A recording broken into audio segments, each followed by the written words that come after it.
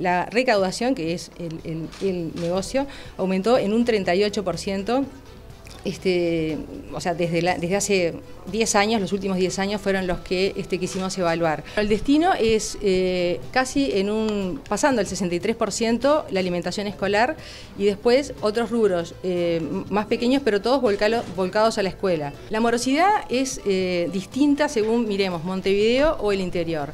En Montevideo estamos en el entorno del 18% y es muy importante Montevideo porque es aquí donde se concentra el 60% de la recaudación, ¿no? O sea, por la cantidad de inmuebles y el valor que tienen. Eh, pero podríamos hablar en un promedio eh, a nivel país del 35% de morosidad.